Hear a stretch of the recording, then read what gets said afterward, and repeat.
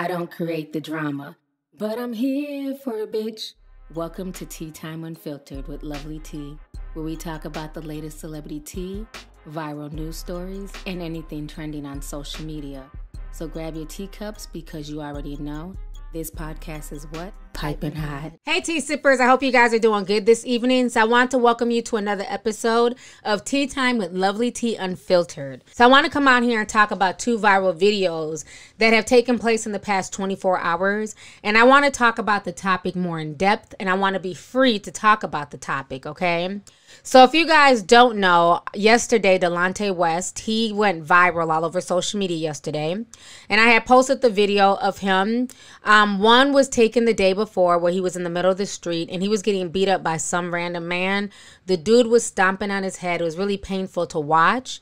And then the next video, you have a police officer questioning Delonte, trying to figure out what happened and how he found himself getting beat up on the street. So Delonte is definitely um, agitated. He's annoyed. He's not feeling the police officer's questions. So I want you guys to go ahead and listen to this audio really quick. Snakes on my life. What? Man, alright. Why'd you hit him? Did he attack you first with the self-defense, or did you hit him? Man, I walked down the street. The man approached me with an eye butt with a gun. You broke where's his gun at? I don't give a fuck. Okay. You know where his gun is? I don't give a fuck. Okay. Young champ. I'm the leader of the motherfucker. Goddamn Navy SEALs. And the Army. And the Navy.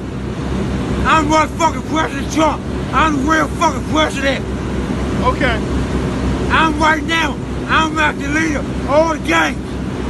What happened? All right. All right, so you guys just watched that video, and it's just really disturbing to see how far Delonte West has fallen off. But this is nothing new to all of us sports fans out there. If you guys know the history of Delonte West and all the things he's been through over the past few years, then you wouldn't be shocked.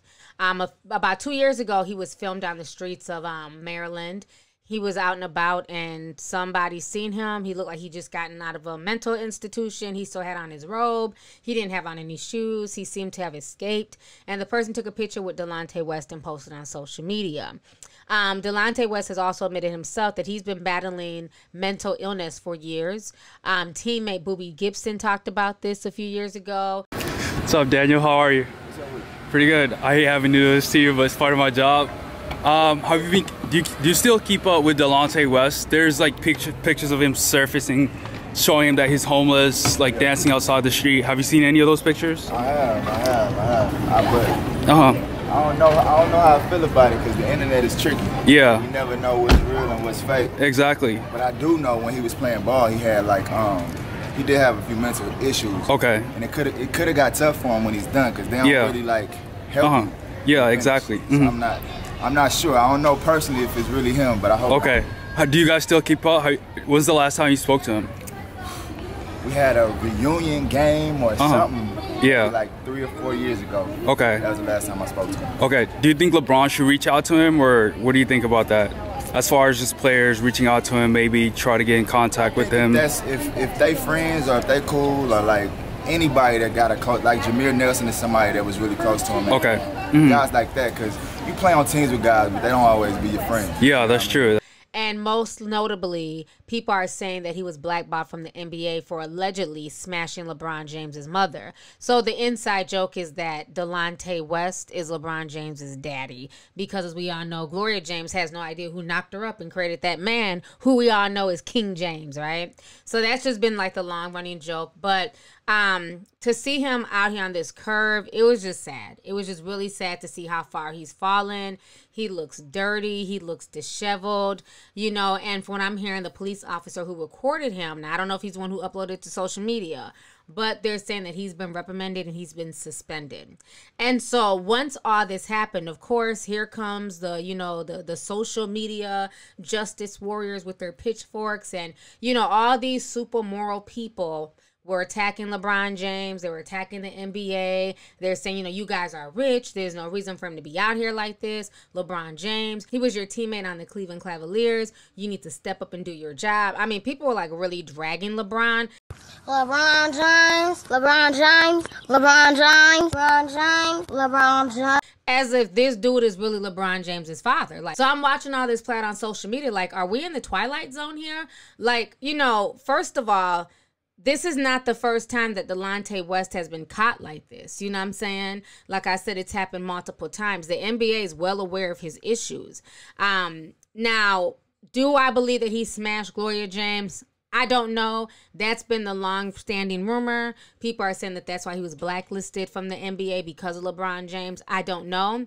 But I find it very funny that now all of a sudden people want to get on this moral high ground and tell and tell LeBron James what he needs to do because he's rich. Now let me remind you guys that before Delonte West fell off, he made approximately $16 million while in the NBA, okay? So he made his money and he squandered it, you know, on partying, drugs, and, you know, his mental illness issues, okay? Now, let's take the celebrity away. Let's take the, you know, LeBron James is the best in the NBA, you know, per my opinion. Let's take all that away. And let's just have two regular men who were co-workers let's say they just worked at AT&T together they did customer service okay they were on the same team you know they were under a woman named you know Samantha Smith that was their manager they took inbound calls sometimes they went to lunch together sometimes they hung out outside of work nothing more nothing less so now one of the the workers from AT&T he ends up losing his job. He goes on a downward spiral. He gets real depressed. He starts abusing drugs. It exacerbates his illness it makes his mental illness come more to the surface. So now, if these were just two regular guys who were co-workers together, nobody in their right mind would say that that co-worker it's his responsibility to take care of his ex co-worker. Like, I mean, do y'all understand how foolish that is to blame LeBron James for Delonte West's situation, regardless if you feel like LeBron James got him blackballed or not? It's not LeBron James's job or the NBA's job to take care of Delonte West now that he's falling off. My thing is, the first question that came to my mind is, where's his family? Not why isn't LeBron James looking out for his old teammate? Not why isn't Adam Silver doing what he needs to do for Delonte West? My first thought is, where's his mother?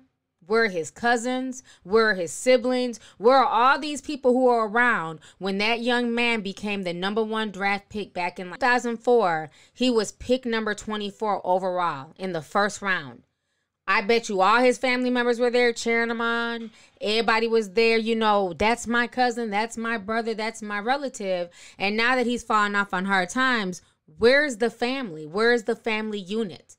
Those are the people that I'm going to look to first before I look to a LeBron James, a Boobie Gibson, and other people. While this situation with Delonte West is sad, it's nothing new. And what I find funny is that he's getting all of this outpouring of sympathy and people are shaming LeBron James, but yet and still in LA, because I lived in LA, there are people out there with mental illness literally on every corner. You can literally just be walking to the grocery store. You will run into people talking to themselves, people who haven't bathed in months. You can smell them before you see them. I mean, people who will just jump up from their sleep and, you know, run after you. I mean, it's, it's really scary sometimes when you're like in Hollywood or in downtown LA and you're just trying to simply get to an audition. So if you guys are not rallying to help these regular Joe Schmoes, these regular men and women who are suffering from the same type of ailments and mental illness that Delonte West is suffering from, then you need to keep your mouth hush, okay? And stop trying to tell LeBron James and the other people in the NBA what to do. If you're not helping the local person, the person who's going through something in your own neighborhood, then don't worry about anybody else's backyard. Because I see this a lot with social media. So we're going to get into some real things. There might be some hurt feelings, but you know, I don't give a shit. I see this a lot on social media. I'll never forget when everything first happened with um, Maia Campbell. She's the one who played Tiffany Warner on the UPN sitcom called In the House, okay? And she was LL Cool J's co star. And I remember back in like 2009, this was still the early years of YouTube. And I remember when her video went viral and I was shocked to see her. She was missing teeth. I mean, she was out in LA, you know, hopping in out of cars, turning tricks. I mean, she did not look like the beautiful woman that we were used to seeing on, you know, on our TV screens for years. And I remember so many people were attacking LL Cool J back then, like, you know, where's LL Cool J? Where's Debbie Gibson? Where are all these people who were her co-workers and who were, you know, on her sitcom show? They should be doing something for her. They should take her under their wing. And that's not always realistic.